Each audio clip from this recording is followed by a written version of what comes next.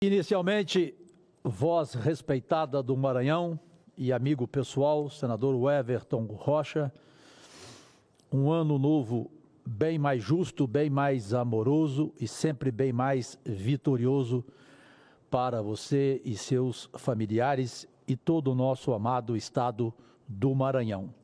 Eu aqui registro, ao pelo sexto ano seguido de mandato, ser sempre o primeiro senador a usar a tribuna, porque chego mais cedo, me inscrevo e tenho este prazer, não para ser melhor do que ninguém, é para ser o primeiro a chegar e o último a sair, e graças a Deus ter uma história de nunca ter faltado a nenhuma sessão deliberativa em cinco anos de mandato, pois as vezes em que estive na UTI foram em datas sem sessão, como sexta, sábado, domingo e segunda. Com muito prazer, brasileiros e brasileiras, minhas únicas vossas excelências, e com orgulho nesta tribuna, quero, iniciando mais um ano legislativo, o sexto de meu mandato, como representante orgulhosamente do estado de Goiás, pelo qual tenho gratidão eterna.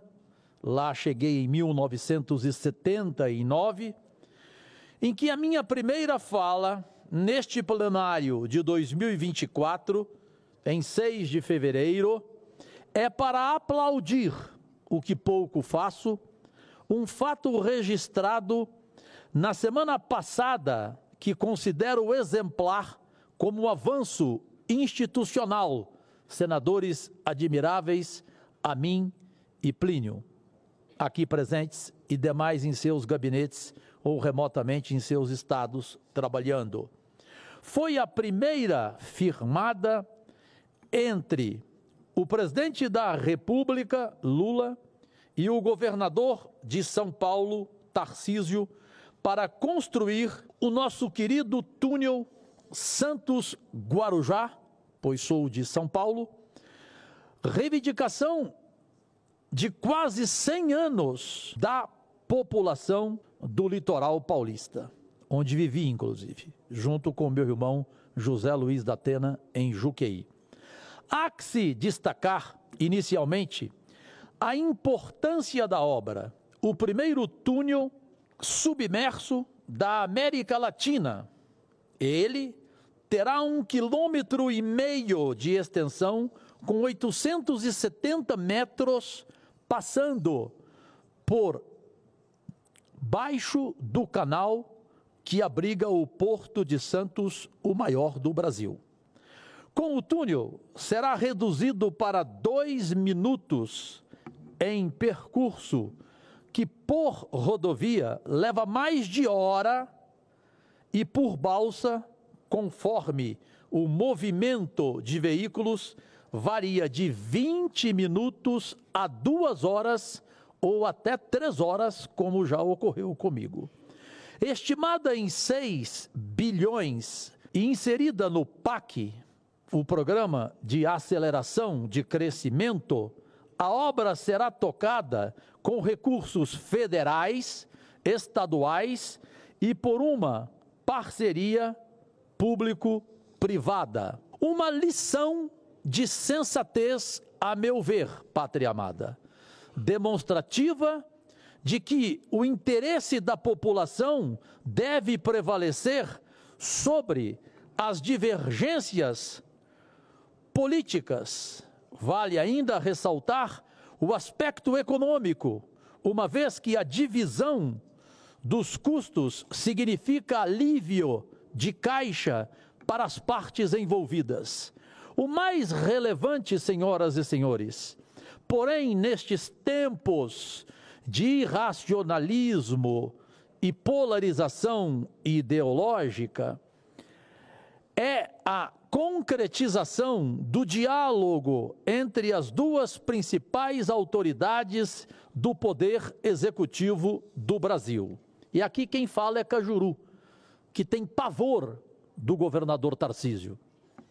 Eu tenho por ele o desejo de uma distância oceânica, foi o maior enganador do ministério deste país na sua pasta e propagada por alguns sem cérebro.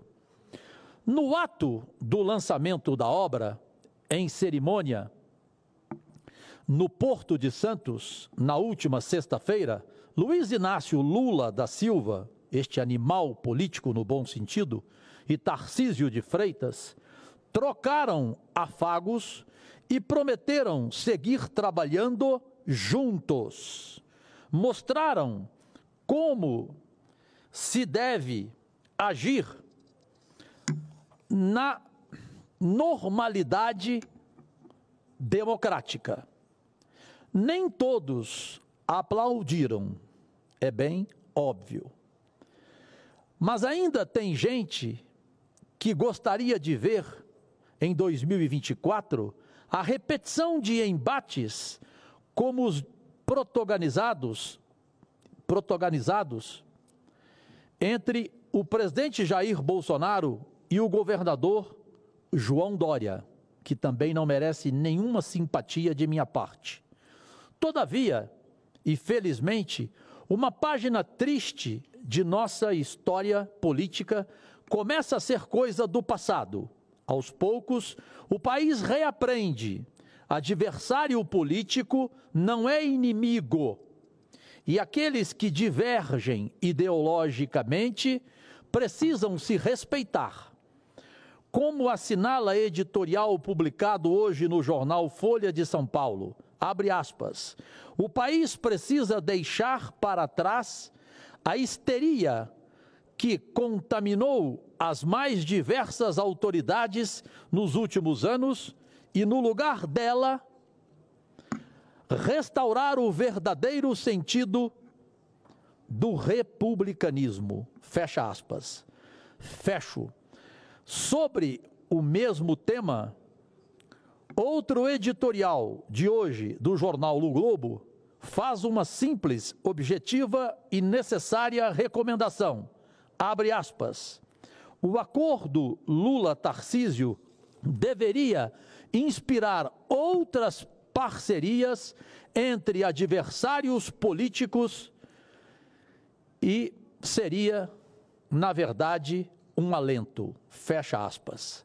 Que possamos então, em breve, novamente ver políticos das várias colorações partidárias se unindo com a finalidade de defender os interesses da sociedade brasileira. O momento exige união e para o restabelecimento da normalidade institucional, mais do que palavras, o Brasil precisa evidentemente, de gestos e de ações concretas, como estão fazendo o governador paulista e o presidente da República.